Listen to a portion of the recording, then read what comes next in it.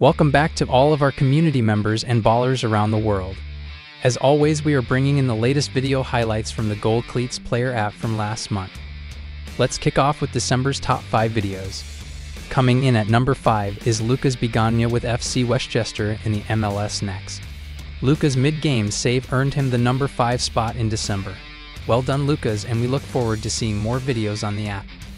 At number 4 is Christian Brandemart with Met Oval Academy U14 MLS Next. Christian's highlight of his turn and clever through ball earned him the number 4 spot. His in-game highlight is from MLS Next game versus Seacoast United. Christian is a verified baller on the Gold Cleats app. Number 3 is Jaden Brown, a youth baller with San Francisco Seals Academy in MLS Next. Jaden bangs home a goal in an indoor match and his profile on the app has many training videos and highlights.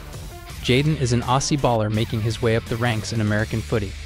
At number 2 is Ezra Addington, a goalie with CCV Stars U13 team.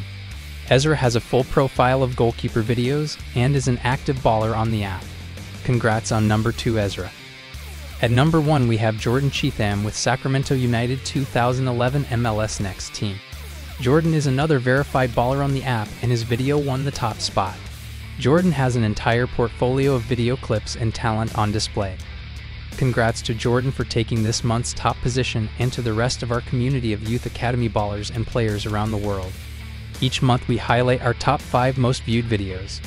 See you next month.